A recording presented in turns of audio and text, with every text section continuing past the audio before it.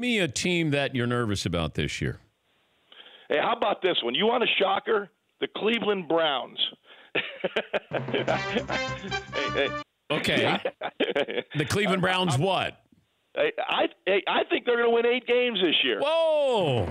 I, I, I call, hey, hey, Dan, call yeah. me crazy. In, in, four months, bring me back. You could either pat me on the back or shred me. But I, I actually like what I'm seeing in Cleveland. I can't wait to, to see some regular season tape and break them down. But boy, Myles Garrett, I mean, he had a tremendous preseason. I mean, this this guy, he, he he's going to be special. And Tyrod Taylor is a very steady quarterback. They won't lose games with Tyrod Taylor because of the quarterback position. And obviously, down the road road, you got a good young quarterback in Baker Mayfield. Look out for the Brownies.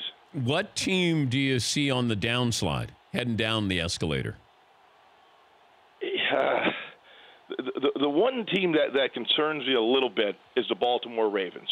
And there's been an incredible turnover, but they still have Joe Flacco.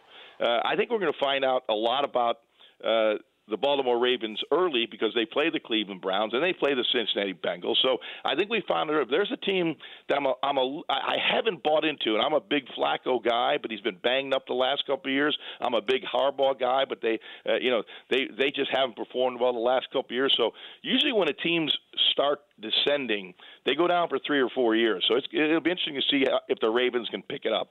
For more Dan Patrick Show, tune to Audience Channel 239 on DirecTV or download the Dan Patrick Show app.